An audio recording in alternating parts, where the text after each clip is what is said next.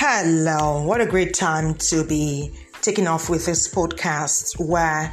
there's COVID 19 and everyone needs to make a deliberate effort to boost their immune system with a healthy and consistent diet, talking about um, fruits and vegetables.